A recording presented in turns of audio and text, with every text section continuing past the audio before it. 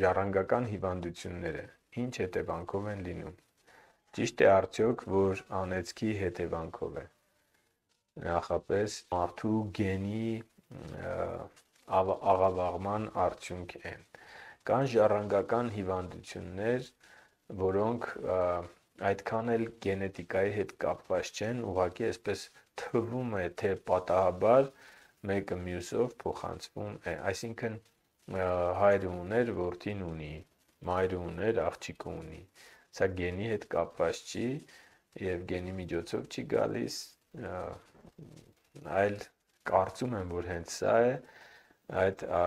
անեծքի հետևանքը, որովհետեւ որքան էլ մարդու մտքին անընդունելի լինի 10 պատվիրաններից երկրորդը, որը վերաբերվում է կռապաշտությանը, ունի իր մեջ պատիժ բոլոր պատվիրանների խախտումն է իր մեջ պատիժ ենթադրում, բայց երկրորդ պատվիրանը տարբերվում է մյուսներից, որ այդ պատիժը ոչ միայն մարդու վրա է գալիս, այլև գալիս է իր սերունդների վրա մինչև 3-րդ եւ 4-րդ սերունդը։ Ինչ է սա նշանակում։ Սա նշանակում է, որ քո տատիկի կռապաշտությունը կարա քո վրա պատիժ բերի։ Այդ նույն պատվիրանի մեջ, սակայն, կա օրհնության խոստումը, որ երբ որ մարդը այս պատճ, այս մեղքից ազատագրվում է, այսինքն ոչ թե կռապաշտության մեջ է ապրում, այլ աստվածպաշտության կյանքին է գնում, կրկին օրհնություն է գնում սերունդներին, այսինքն կրկին դա տարածվում է սերունդների վրա, եթե անեծքի պարագայում, եթե պատժի պարագայում դա գնում էր մինչև 3-րդ եւ 4-րդ սերունդ, այդպես է գրված 10 պատվիրանների մեջ, ապա արդարության օրհնությունը գնում է մինչև 1000-րդ սերունդը Աստված ասում է ես օրհնելու եմ քո սերունդներին, երբ որ դու կռապաշտության փոխարեն գալիս ես ճշմարիտ աստվածապաշտության։ Մարդիկ կան, որ իրենց այսպես ես ճանաչում եմ այդ այդ տոհմի մեջ, այսպես ասեմ, բոլոր տղամարդիկ երիտասարդ մահանում էին եւ ապաշխարելուց հետո այդ անեծքի թելը կտրվեց 40 չէին հասնում տղամարդիկ եւ ապաշխարությունը կտրեց այդ անեծքը Եվ սա մի բան չի, որ գենետիկայով գալիս էր, ինչ որ դժբախտ պատահար էր տեղի ունենում, հիվանդություններ լինում, բայց այդպես էր եւ ասես այդ տոհմը այդ ցեղը անեցքի տակ լիներ եւ այդտեղից մի տղամարդ ապաշխարեց եւ ինքը հիմա էլ 50-ի մոտ է ու ոչ մի խնդիր չկա իր կյանքում եւ սա ապաշխարությունն է սա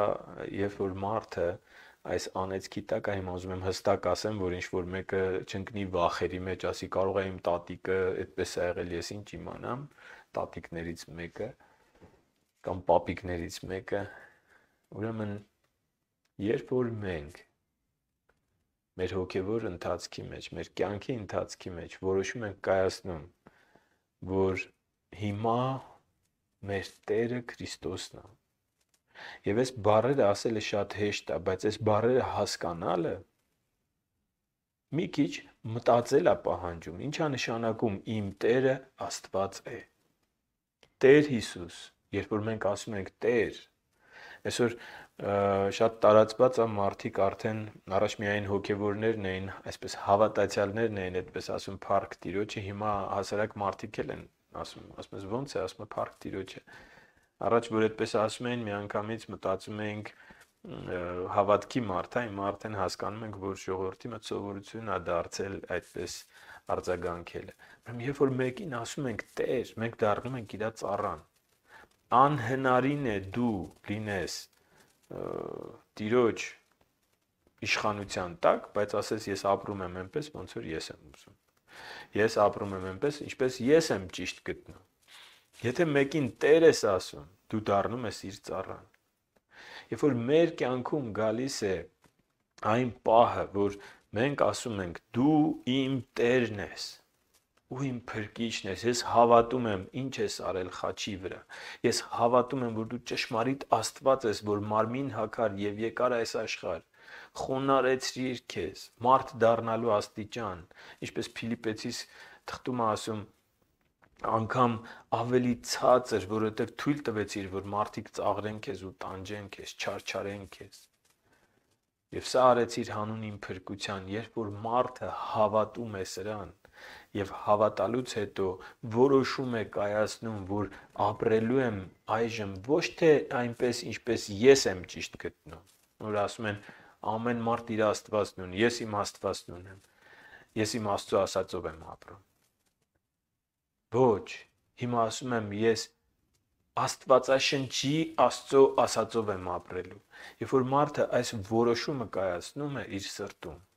ճանաչել Աստծո խոսքը, ճանաչել Աստծո կամքը եւ հնազանդվել այդ կամքին, փոխել մտածելակերպը, այդ ժամանակ իր պատկանելությունը, հոգեվոր պատկանելությունը փոխվում է։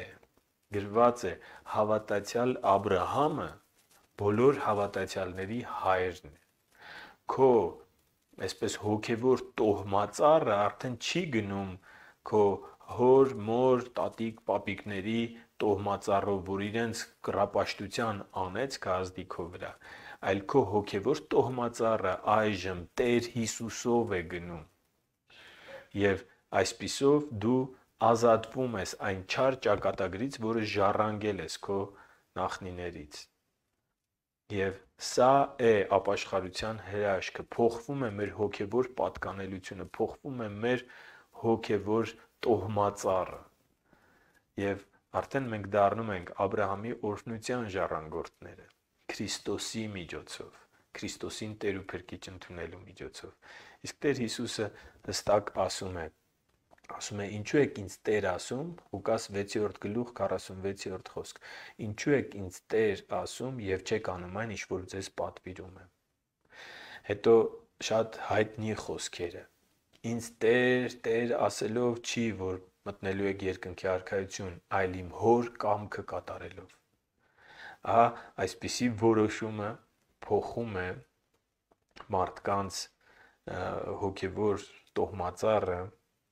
Եվ ես նաև վկա եմ, թե ինչպես են ժառանգական հիվանդությունները